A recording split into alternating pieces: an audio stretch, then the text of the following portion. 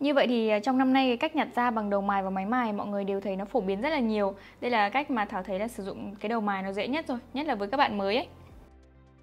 Đây là một phần da sau khi mà mọi người quan sát thấy này là phần da chết nó đang lan rất là cao. Mình sẽ rũ form hai bên cạnh đi trước nhé. Sau đó thì mình sẽ sử dụng đầu mài khóe ở đây. Đây là đầu mài khóe nhé mọi người nhé.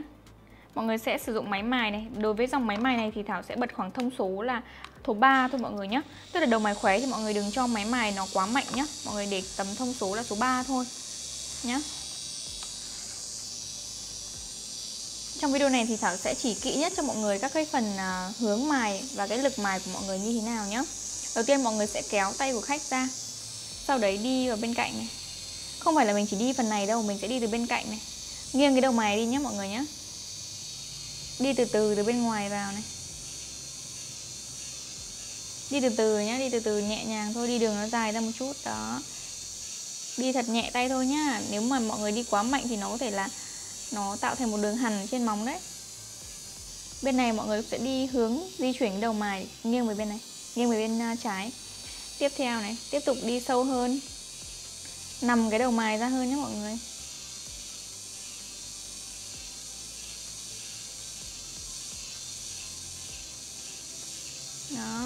Mọi người thấy chưa ạ? Da chết nó trồi lên chưa ạ? Có thể lướt một cái là nó đi luôn. Rồi. Tiếp tục kéo phần da ra này. Nhớ đi vào những cái phần cạnh móng nữa nhé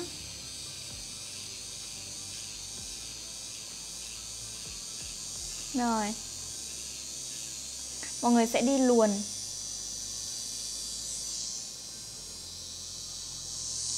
Đấy mọi người sẽ đi luồn vào phía bên trong nhé đây. Tuyệt đối là không đi lên bên trên đâu, cứ luồn vào phía bên trong. Biết đi đầu mài khóe thì rất là dễ. Nếu không biết đi thì nó sẽ rất là khó.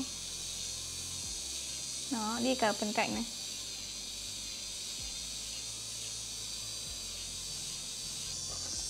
Mọi người nhìn thấy nhá là cái phần mà phần da này, nó từ bên trên, mình đã mài xuống tận đây. Tức là bước mài đầu mài khóe như thế này thì nó sẽ giúp cho cái khóe của mọi người tròn sạch lát nữa, mọi người nhặt sẽ sạch nhất và sát nhất nhé đấy, đây là thảo làm chậm cho mọi người xem nhé còn nếu mọi người làm nhanh hơn nhé thì chúng ta có thể cho tăng lên một thông số là số 4 sau đấy thì mình sẽ mài nhé mình sẽ làm một cái móng nữa chậm. Sau đó mình sẽ hướng dẫn mọi người mài nhanh nhé này, thật chậm này. Kéo tay của khách này. Đi từ bên cạnh đi từ từ từ bên ngoài nhé. Mọi người đừng có uh, nóng vội là mình một phát mình mài vào trong luôn nhé. Nhẹ thôi.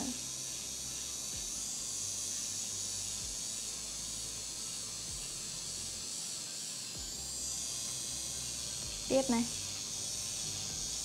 Mình vừa mài như này vừa có xu thế hơi đẩy đẩy vào bên này một chút nhé.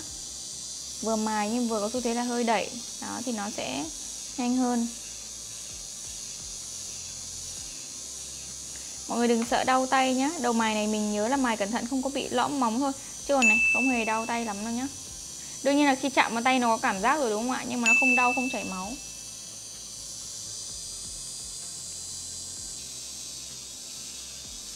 Mài cẩn thận nhé các đường mài đều luồn ở bên trong, không có trồi lên bên trên.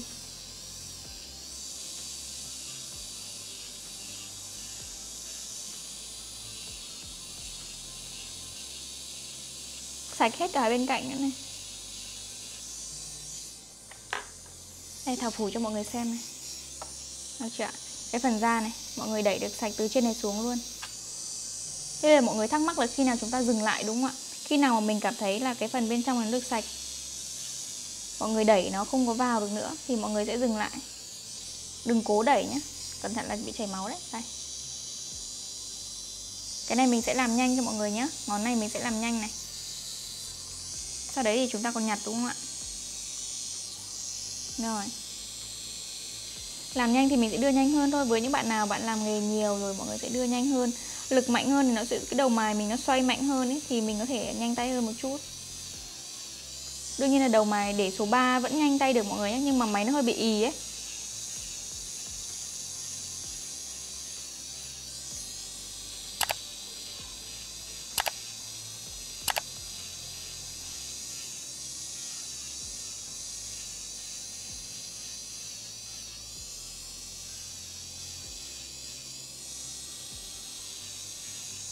Rồi, như vậy là sạch hoàn toàn này. Nhớ nghiêng cái đầu mài bên cạnh nhá. Thật nhẹ tay, đó. Rồi, như vậy mình hoàn thành rất là nhanh đúng không ạ? Thế thì đối với phần da này thì đầu tiên sau khi mình làm xong thì mọi người nhặt đi.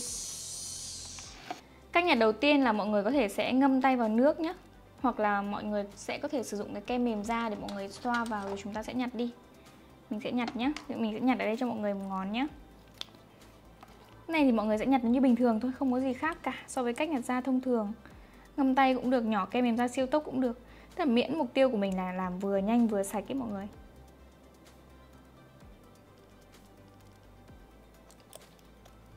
Bôi cả lên phần da chết bên viền da nhé. Khách hàng ở Việt Nam thì thường là rất là thích có cái xu hướng rất là thích việc là mình sẽ nhạt da bên viền. Tức là họ cảm thấy đấy là da chết và cái này lấy khách cảm nhận được ý nên mình sẽ nhặt cả hai bên viền đi nhé. Thấm bớt đi cho nó đỡ bị ướt quá này rồi mình sẽ nhặt từ bên viền nhé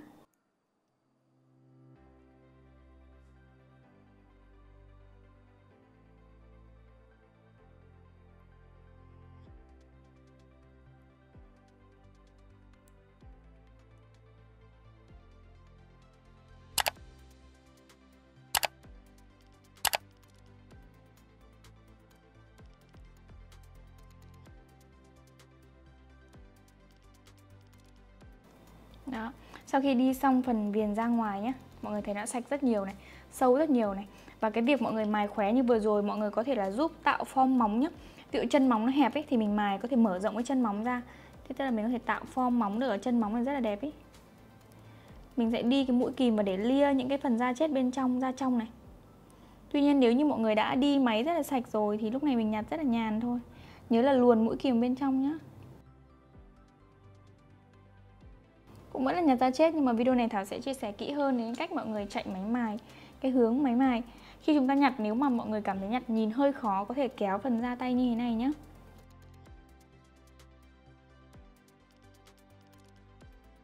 kéo lên như này, mọi người sẽ nhìn rõ hơn. Đó, được chưa ạ? Thấy chưa sau hai lần nhặt ra là da đã rất là sạch rồi. Lúc này mọi người chỉ cần đi cái phần bên cạnh này, sao cho nó không bị xước này. Tức phần nào còn mọi người sẽ nhặt nốt. Rồi, đã xong. Đã xong và sạch nhé So với một cái móng này mọi người thấy có sự khác biệt chưa ạ? Như vậy là cách nhặt ra như thế này thì nó vừa nhanh mọi người nhé Vừa là nếu như mọi người biết nhặt ra thì nó sẽ không hề hại móng. Vừa nhanh, vừa sạch, Vừa mở rộng form móng ra, Giúp cho cái chân móng của mọi người thứ nhất là sơn được tròn hơn Và thứ hai là sẽ giúp cho mọi người sơn được bền hơn Tại vì nó không còn phần da chết ở chân móng nữa nhé